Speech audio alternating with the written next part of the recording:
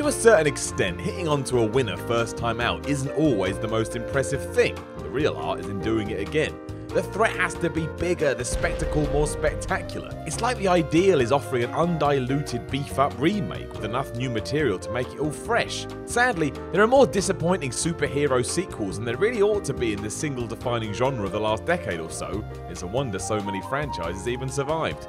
I'm Simon from WhatCulture.com, and this is the 10 worst comic book movie sequels ever. Number 10, Spider Man 3. Spider Man 3 is yet another piece of compelling evidence in the case against studio interference in filmmaking. Sony decided they needed to give fans Venom, but then also had him joined by Sandman and a new Green Goblin just to make sure Raimi couldn't possibly hope to balance it all. The result is a crowded mess with hyperactivity issues that delivers on precisely none of its individual parts or the whole. And as a final insult to the studio's crowd pleasing manifesto, Venom is reduced to being an emo nightmare, making Peter Parker dance his cringy worthy way around New York and develop a new fringe. That's not adding complexity and darkness. That's a fucking teenager crying for attention. Number 9. Ghost Rider Spirit of Vengeance. When Columbia announced their plans to revive the Ghost Rider series just five years after the first movie proved to be a hilarious dud, eyebrows were raised. But the idea to hand the reins to Crank's directors Neveldine and Taylor actually looked to inject some confidence into the project. Surely they'd be able to channel the comic batshit spirit of their Jason Statham starring actioners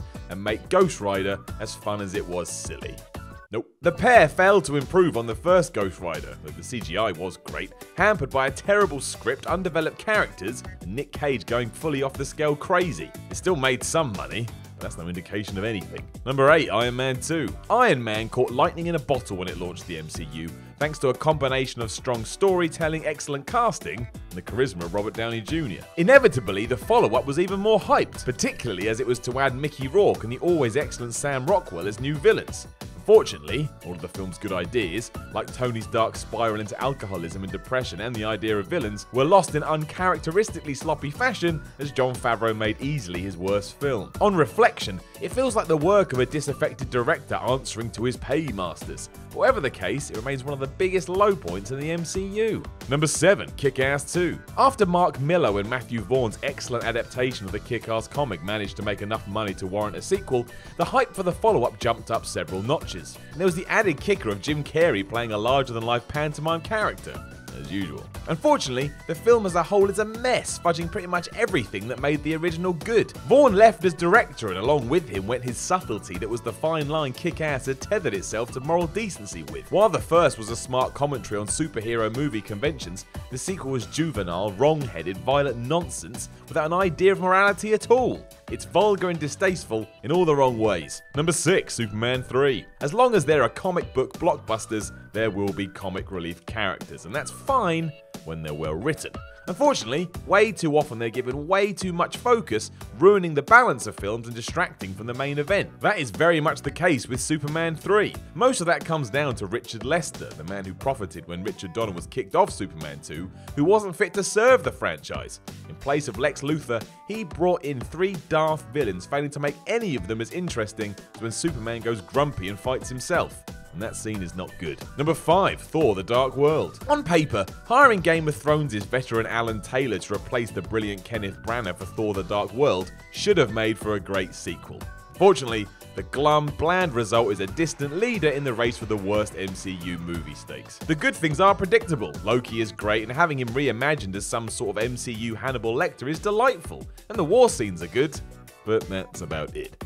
This whole film was a mess. Ruins good villains, turning them into Doctor Who Monster of the Week, and the switch in tone to po-faced misery is not welcome at all. Number 4, Batman vs Superman. Like even the worst comic book movies, Batman vs Superman occasionally does flirt with greatness, and it does have its moments, particularly in the Ultimate Cut but ultimately, it's a disappointment follow up to Man of Steel. Even with multiple seminal comic books to draw from and the addition of an excellent new Batman in Ben Affleck, the film has a major problem with restraint and tone. Sure, there is a commitment to spectacle, but having it so dark is just dumb a bullish agenda to serve aesthetic and style over the audience's experience. Number 3, Superman 4. Here's all the indication of how good Superman 4 is. It's not just classed as one of the worst sequels ever, or one of the worst comic book movies ever, but as one of the worst movies ever made. There is something to be said for the return of Gene Hackman as Lex Luthor, but unfortunately he's saddled with his version's Scrappy Doo, or in this case his nephew Lenny, and a ridiculous evil scheme that ends up unwittingly birthing Nuclear Man. Sure, there's some camp value in that, but when you spend every second this man is on screen wondering how the hell he can be a clone of Superman, and yet look precisely nothing like him, something is wrong. Number 2, Batman and Robin. It's almost too easy to bash Joel Schumacher for what he did to the Batman movie franchise, particularly as he seems to acknowledge what he did wrong in hindsight. Given the rather unenviable task of reinventing the movies with a more family friendly tone, with the agenda to sell more toys, he went way too silly and turned absolutely every character in Batman and Robin to jokes. He hadn't even done that poorly with Batman Forever, which gets way more hate than it deserves, but the follow up reads like a case against good taste. He turned the super costume into fetish pieces, transformed Dr. Freeze into a walking catchphrase, and turned Batman into a Punch and Judy sideshow. And I'm not afraid to tell you, this is one of the worst films in history. Number 1 Fantastic Four Rise of the Silver Surfer. The Fantastic Four movies have never been good. Even the first big budget one was pretty mediocre, but it made so much money a sequel was inevitable. Encouraged by that success, the studio decided to go bigger and bolder, introducing iconic Marvel villain Galactus, but then turning him into a great big nasty cloud. Yeah, that's terrifying. It's just not fun at all, and it fails to live up to almost everything you'd want from a Fantastic Four movie. And that dance number is the single most cringeworthy thing in cinematic history. Know of any other comic book sequels that were terrible? Let us know in the comments below, and then don't forget to like, share, and subscribe. You can even come tell me on Twitter at SimonMiller316. I'm Simon from What Culture, and I'll chat to you again soon.